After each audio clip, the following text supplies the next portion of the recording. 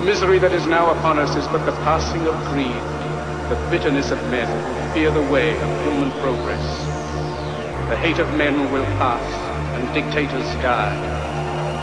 And the power they took from the people will return to the people. And so long as men die, liberty will never perish.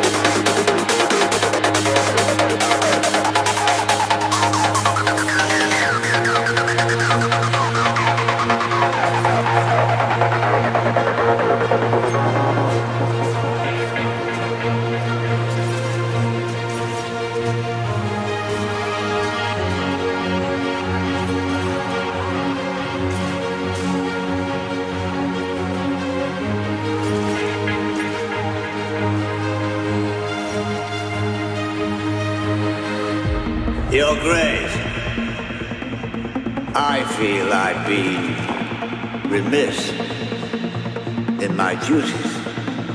I've given you meat, wine, music, but I haven't shown you the hospitality you deserve.